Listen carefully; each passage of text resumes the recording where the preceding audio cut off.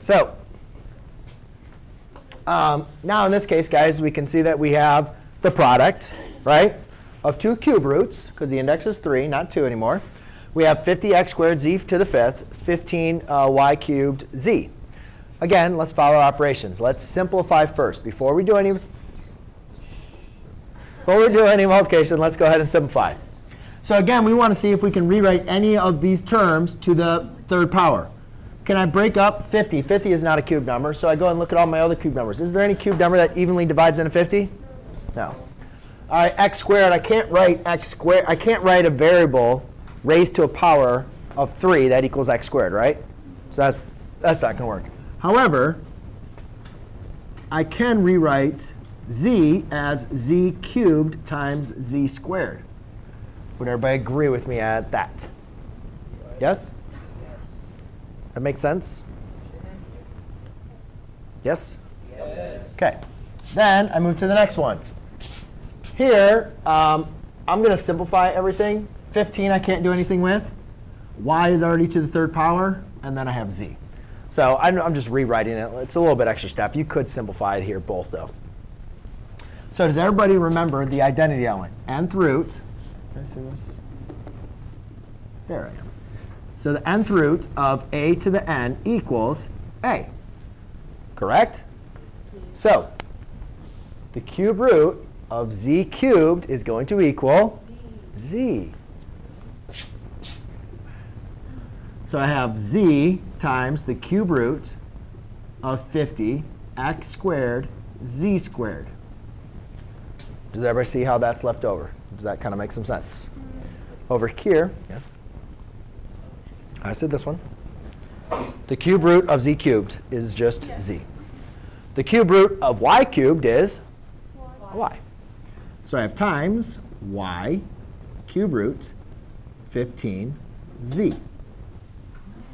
I got that, but I thought you were the next step, so I got confused. OK, so now the next step is apply the operation. So again, what is our operation? We're multiplying these two, right?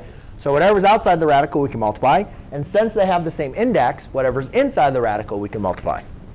So z times y, you know, that's just a variable times a variable, so that's zy. Um, cube root,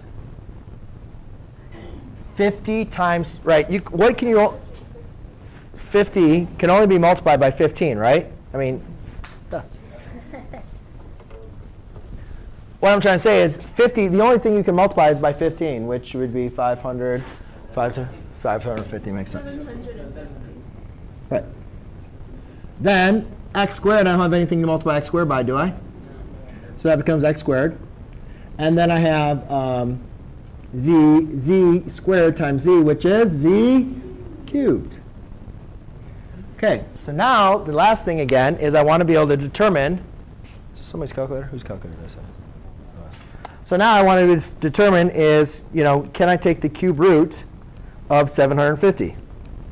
No, I cannot. So I want to start looking at, you know, cube numbers. Um, do any of those cube numbers, 750, do they divide into there? Well, 8 doesn't. Huh? Nope. So I'm checking all these cube numbers. Um, I just want to make sure I can't divide any of them. None of them evenly divide into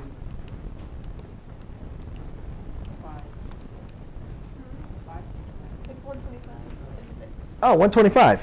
Yeah. Why didn't I not write that, in there? Was I not just saying? I said that. OK, very good. So therefore, I can also I can take the cube root of z cubed, right? Yeah. Yes? No? Yes. Well, let's do this at the end. So I do 7y cube root z. 150. I can do this as 150, or sorry, 125 times 6 times x squared z cubed. I can rewrite 125 as 5 cubed. I'm just writing a lot of extra steps, just again to take this slow. 5 cubed times 6 x squared z cubed. The reason why I wanted, I just did an extra step, because remember, guys, the cube root of 5 cubed is 5. How? Oh, the cube root of, um, I can't take the cube root of 6, can't take the cube root of x squared. The cube root of z cubed is z. Wait, is it six times x squared? Yep. So then I have two z's here, right? So my final answer would be 5 z squared y, I'll be moving, cube root of 6x squared.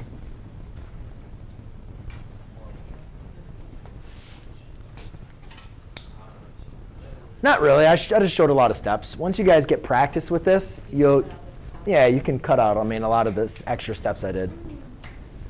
I'm just trying to show it step by step for you guys, just to make sure that